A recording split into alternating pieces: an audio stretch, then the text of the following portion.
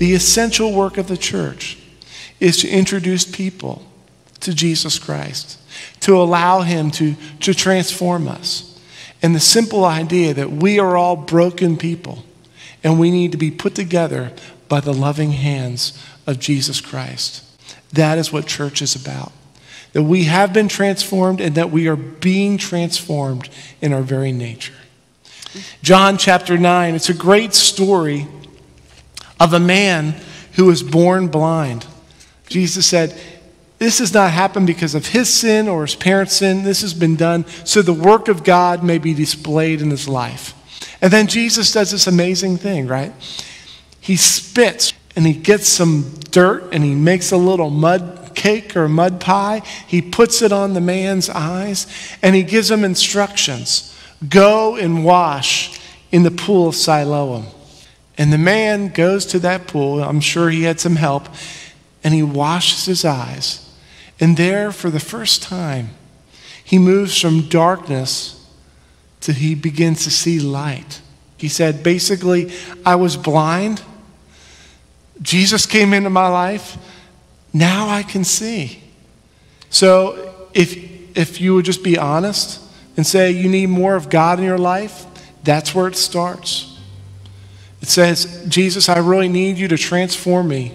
A deeper level of transformation than just saying the right things or doing the certain things. But help me to love you more fully and completely. Remember, eternal life doesn't just start on the other end when you die, but eternal life can start right now. And the Father wants you to have it. Would you just ask Him to come more into your life and pervade you, to transform you, to give you the joy of salvation, to experience a deeper level of transformation, to love those who are difficult to love? We need the work of the Holy Spirit in our lives. You bow your heads and let's pray? Almighty God, we thank you for all these examples of Scripture and from our lives of people who've had encounters with you. And Jesus, we know that you are always here. And so, Lord, help us to more fully give and surrender our lives to you. Lord, we want more than programs. We want more than smooth church services.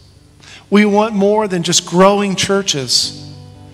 We want an authentic life with you in the midst of hardship, in the midst of joy. And we know, God, that you can give it to us. And so we ask you to fill us. Empty places in our life. Remove things that are dead, Lord so that your life can flow within us. Please do it today, even as we sing. In the name of the Father, the name of the Son, the name of the Holy Spirit. Amen.